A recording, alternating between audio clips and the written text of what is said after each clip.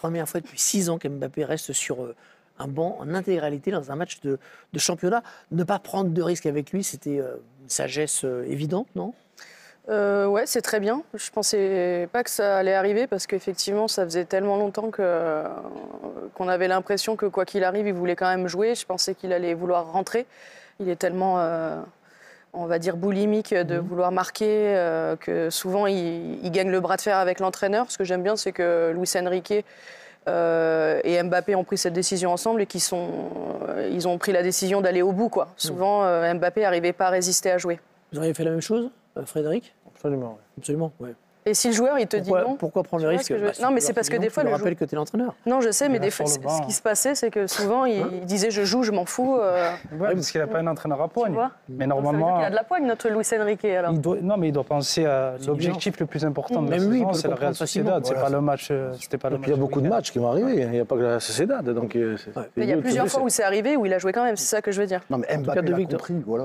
Mbappé l'a compris. Et au-delà d'Mbappé, ça s'est traduit aussi dans la composition d'équipe, parce que le match le plus important de la semaine en cours, c'était mercredi en Coupe de France contre Brest, C'est clair. et non pas samedi euh, hier soir contre Lille en, en Ligue 1. Il a préparé finalement la Real Sociedad mercredi contre Brest, moins que hier soir contre Lille. Deux victoires au parc euh, successives, donc 3-1 les deux fois, face à Brest mercredi en coupe et, et hier euh, face à Lille. Est-ce que comme euh, je l'entends, et je l'ai entendu avec Frédéric hier, vous pensez, vous, Samir, on ne vous a pas encore entendu euh, là-dessus, que PSG a préparé son match de manière idéale? Oui, pour moi, oui. Ils l'ont préparé de manière idéale. Ils ont laissé reposer les joueurs qu'ils avaient envie de, de reposer pour, euh, pour ce match-là. Et euh, j'ai trouvé en plus un, un PSG séduisant euh, ce, ce week-end. Donc, euh, ouais, ils l'ont préparé de la meilleure des manières, en espérant que mercredi, ben, on le voit avec le, avec le résultat. Ce qui était pratique aussi, Bah, c'était il le fait que, pardon, qu'il y ait un match de coupe juste avant, ça permet. Souvent, on demande aux joueurs, enfin, il faut qu'ils aient du rythme, etc. Mais là, comme ils jouent tous les trois jours, je trouve qu'il n'y avait même pas de débat sur le fait de laisser des joueurs au repos. Je pense que l'entraîneur, à un moment donné, doit faire vivre son groupe. Et là, c'était une belle occasion de faire vivre son groupe. Parce que l'entraîneur ne pense pas qu'au prochain match, il pense aussi à amener tout le monde. Il a besoin de tout le monde. Donc là, il, a- il leur a donné un beau match parce qu'il jouait le, quatrième à jouer. Ben, Montrez-moi ce que vous êtes capable de faire. Et peut-être que, à ses yeux, hier soir, il y a eu des joueurs qui ont, gagné, ont marqué des points. Hier, Luis Enrique s'est en tout cas présenté sur le plateau de Soir de Ligue 1 avec un message, message de zénitude. Écoutez. Et ici, moi, ce que je vois, c'est qu'il y a beaucoup de tensions avec la Ligue des Champions. Il ne s'agit pas d'avoir de la tension avec la Ligue des Champions.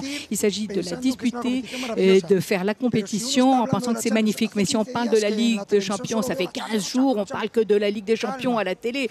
Oh, du calme, relax, l'équipe va très bien, ils s'entraînent, ils sont préparés. Eh bien, on va en profiter. C'est vrai, ça arrêtons de parler de la Ligue des Champions euh, mercredi. On va continuer découvre, encore. euh, Je ne vous le fais pas dire. Non, non, mais oui, est-ce qu'il nous- il nous envoie un message? Il, il découvre aussi qu'en France, on est obsédé par cette Ligue des Champions. On la gagne tellement souvent, il faut dire, euh, que ça, voilà, ça, en fait. euh, Parce que Paris a les moyens de la gagner, tout simplement. Voilà. Après, la Ligue des Champions, c'est un système de coupe. Hein. C'est pas toujours le meilleur qui gagne. hein. Mm. Donc là, il faut, il- on l'oublie trop souvent. C'est pas un championnat. Non, mais c'est surtout que lui, il n'a jamais vécu ça auparavant. Enfin, je veux dire, il, est- il a été dans des contextes où euh, euh, c'était important, mais c'était pas obsessionnel comme ça l'est euh, au, au Paris Saint-Germain. Plus Même si Paris dit depuis cette année que c'est plus une obsession. on sait très bien On ce que ça veut le dire. non, mais, déjà mais depuis plus, le tirage au sort, tout le monde mais- parle de la Ligue des Champions. Mais cette nouvelle position par rapport à la Ligue des Champions a été annoncée par Nasser Al-Khelaïfi pendant la conférence de presse pour présenter Luis Enrique. Donc, le message du club, officiellement au moins, c'est que ce n'est Ouais, plus une obsession. Le budget du club. le À chaque- le budget du club. À chaque fois qu'il ne passe pas le tour, ben, l'entraîneur il est viré. Donc, c'est une obsession. Je vais te dire qu'en interne, le mois de, le mois de février, tu, tu sens la tension. Non, mais, avec le budget qu'ils ont, Ah ben oui. donc c'est obligé, un c'est la Ligue des Champions, c'est pas le championnat de France. Le message budget du club, en fait, il ne passe pas, soyons, soyons honnêtes et réalistes. On attend Paris au révélateur. Mais comme on l'attendait City aussi. hein, pareil, c'est la Mais, ce qui est bien dans le discours d'Enrique, c'est que, comme le dit Laure, euh, son vécu à lui est peut-être un plus précieux. Les feux sont Oh, je ouverts. pense que tous les entraîneurs qui sont passés avaient vraiment. Unai Emery avait un Oui, mais la différence avec les aussi. précédents, c'est que lui, la Ligue des Champions, il l'a gagné. Depuis Carlo Ancelotti, les cinq entraîneurs précédents, euh, Luis Enrique ne l'avait pas gagné avant d'arriver à Paris. Ils l'ont gagné après, certains. Certains l'ont gagné après, mais pas avant. Qu'est-ce que c'est que ce petit pic? Est-ce que cette équipe de la Real Sociedad a les armes? Pour vraiment battre cette équipe du PSG Salut à toi et bienvenue dans cette vidéo. Dans cette vidéo, on va parler de la Real Sociedad, les amis. Mais avant de commencer, si tu me découvres à travers cette vidéo, ici on parle de foot, ici on est passionné par le foot.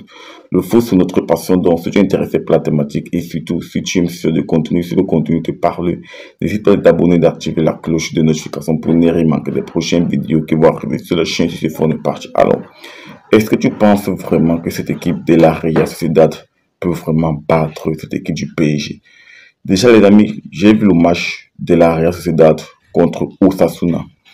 Sociedad a perdu face à Osasuna 1 but à 0. Mais dans le jeu, on a vu une équipe de la Real Sociedad qui a vraiment dominé Osasuna. Ils ont dominé Osasuna dans quasiment tous les compartiments du jeu, sauf le réalisme. Lorsque tu regardes la possession, la Real Sociedad, c'est 69% de possession contre 31 pour Osasuna.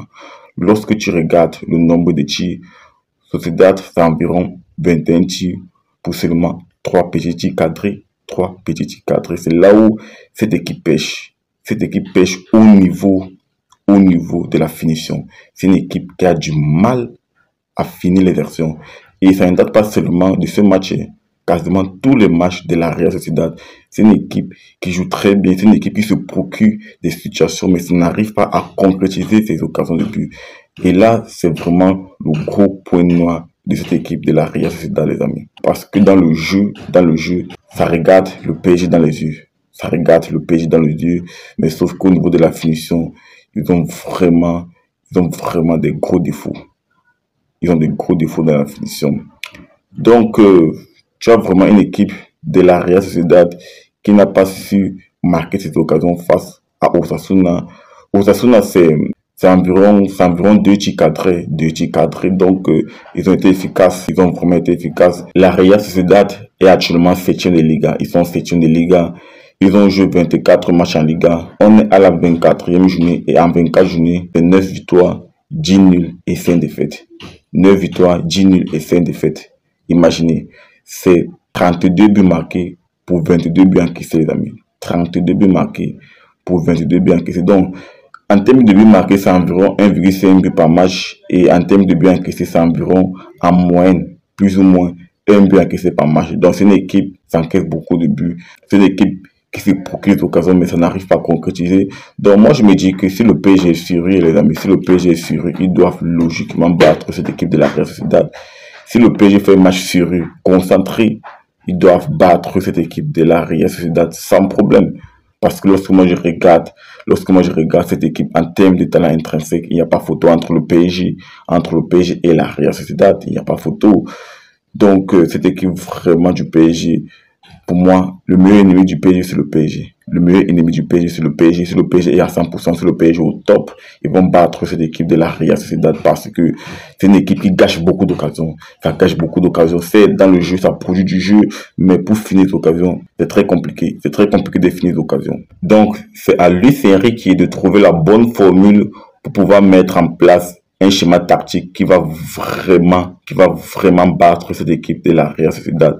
Parce que comme je l'ai dit sur le papier, le PSG pour moi est largement favori.